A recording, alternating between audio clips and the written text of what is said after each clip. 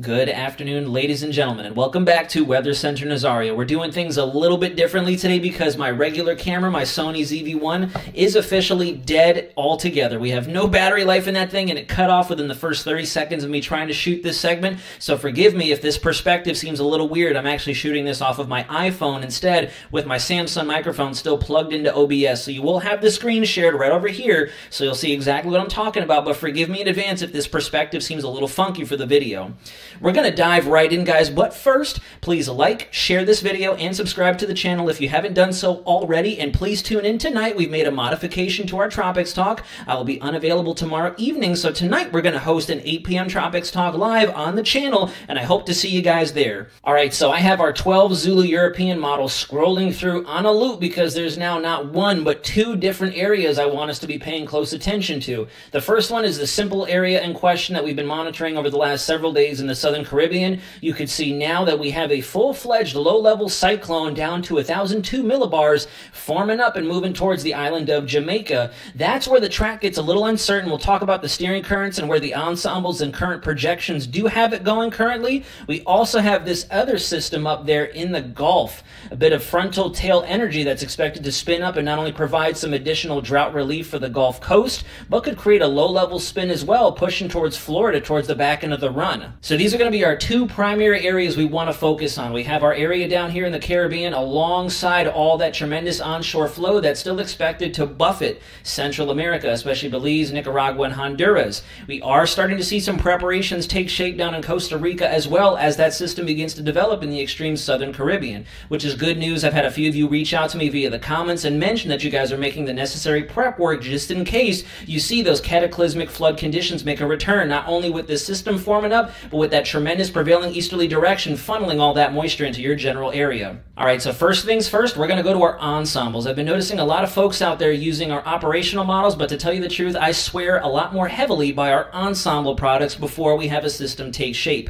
The ensembles for mid to long range forecasting are always going to be a little bit more reliable than our deterministic models because we have the ability to manipulate them as they go through time, whether it be the mid range, five to seven day out, all the way out to seven to 10 days more long range forecasting. I tend to lose a little bit of faith in terms of our regular models trying to spin things up before we have an organized system, just because they tend to deliberately re-intensify things, over-intensify things, or almost under-forecast them for that matter, like we've seen countless times this hurricane season. So we're looking at our Euro ensembles, this is for 12Z, and you can see that the agreement for something developing not only in the Gulf of Mexico now, that is not necessarily going to be tropical. Not thinking we're going to have another tropical disturbance out there, but a little bit of leftover vorticity, not only in the upper levels, translating down to the surface, but the tail end of a frontal boundary that's going to have some leftover energy brewing up over the Gulf of Mexico, very similar to what we saw back near Friday the 13th of October when we had that system work its way through the Gulf of Mexico towards the panhandle and portions of the Florida Peninsula. As you get to the midway of the loop, you can see we already have widespread agreement that something is going to take shape down in the Caribbean, push towards the Cayman Islands or Jamaica alike.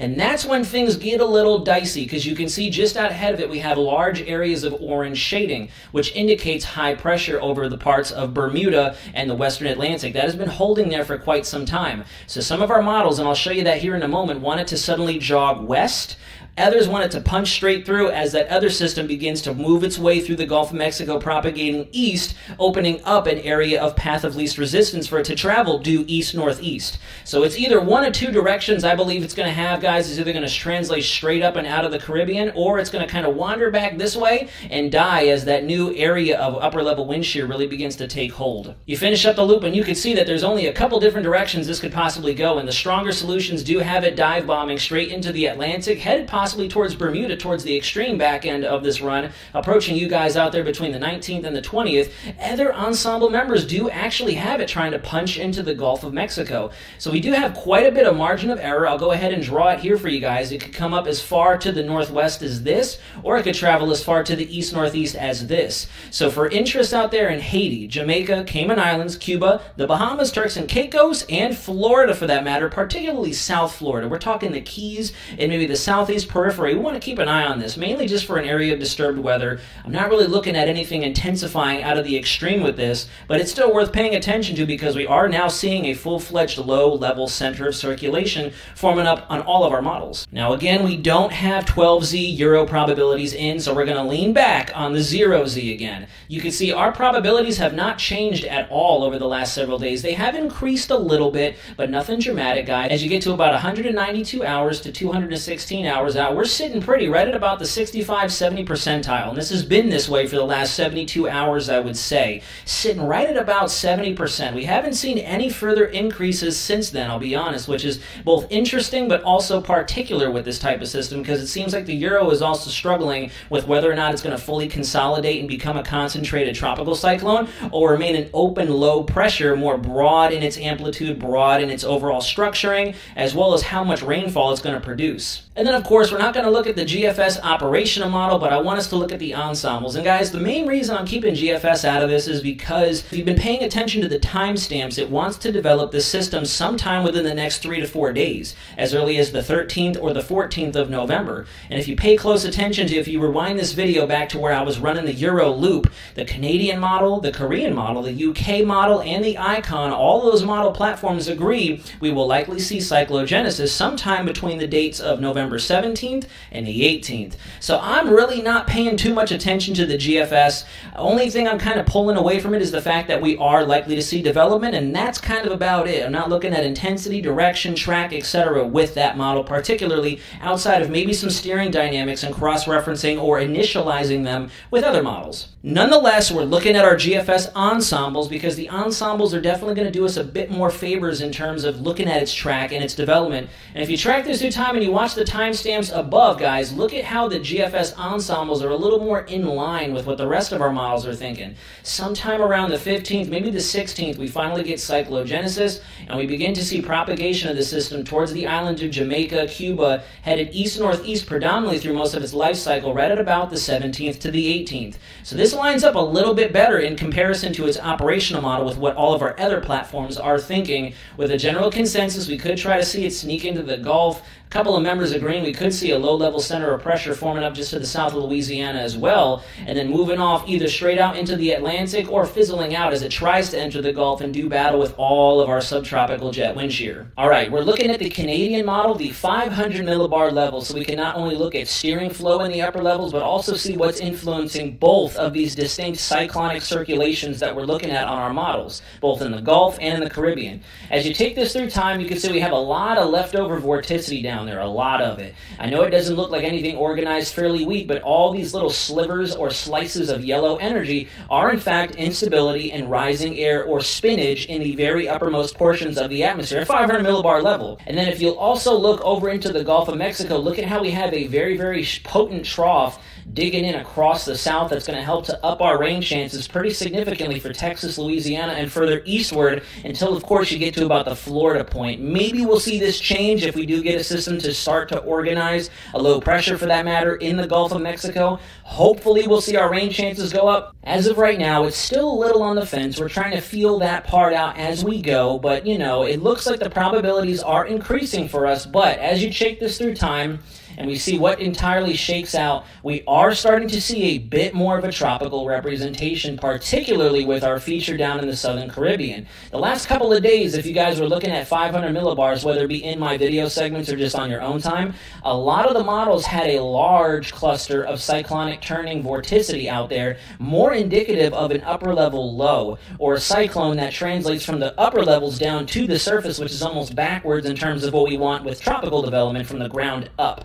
Now we're starting to see a bit more consolidation, and our models are in agreement that we could see something much more smaller scale, which indicates a tropical feature trying to get its act together. And also, if you pan up over to the southeast, you can see a lot of that trough and that very, very weak low pressure that's expected to propagate towards Florida is situated over top of us. And I do think that that trough in the upper levels is going to interact with our system down there in the Caribbean and try to influence not only its intensity but its overall track. You can see as we get towards the tail end of the run, there's almost two distinct areas of vorticity you want to watch for. Down here over Central America, unfortunately pummeling them with more flooding rainfall, as well as this other feature that's really wrapped up in of itself. And if you look closely, you can see just out ahead of it, there's a very, very broad ridge. That is likely why the model wants to try to give it that bit of a west-northwest bias towards the back end of the loop. If you come over here to the surface and look at the mean sea level pressure and you track this through time very quickly, you can see all of the widespread precipitation chances already going up for Central America. And take a look out there over the Gulf. We're looking at widespread showers and storms for Alabama, Georgia, and Florida. So good news on the horizon for those of us out here wishing for rain and praying for rain along the Gulf Coast and here in the Sunshine State. As you take it to the back end of the loop, here we go. Cyclogenesis occurring right at about the time we mentioned earlier, 17th into the 18th of November. And watch how it tracks towards Jamaica, tries to deepen down a little bit more, and then make a bit of a jog to the west. And I think that's in response. If you look to the north here, there is a void over Florida at this time with high pressure reaching in from the Atlantic, and then another frontal system out here, occluded frontal system at that, coming in over the central and southern plains. So there's your path of least resistance right there, at least according to the Canadian model, which is why I think we're seeing this split difference between our Euro ensembles, the GFS ensembles, and predominantly what the Canadian model has been sniffing at as well. Last but not least, we'll go ahead and look at the icon, and as we take this 500 millibar chart all the way through, you can once again see a representation of a low spinning up with all that upper level vorticity helping to induce that circulation over the Gulf. And as you get towards the very tail end of this loop, you start to see a consolidated feature down there in the Caribbean. And once again, you can see as that trough makes its way across the southeast, probably impacting a little bit of the mid Atlantic region as it does so as well, we see it starting to draw in. So initially, it looks like it wants to boomerang straight up to the east northeast. There might be a little bit of a westward pole, or I should say more of a due north pole, according to the icon model, just based on this upper level synoptic pattern. Now, I'm bringing up the UK model because we can finally see far enough out with that model loop. It only goes out to 168 hours, more of a mid range forecast model, albeit very accurate. That's why I haven't pulled it up just yet, but we're taking a very fast paced glance at it. You take this all the way to the back end of the run very, very quickly. Take a look in the Gulf, guys. We're actually expecting a very large area of strong low pressure to impact the Gulf Coast parts of Louisiana, working their way into Mississippi and Alabama. Probably going to see some pretty good wave heights with this as well. Some strong swells out there off the coastline. Not really looking at anything storm surge ish because this is not anticipated to turn into a tropical feature. So no worries in that department, but this is definitely going to elevate our rain chances.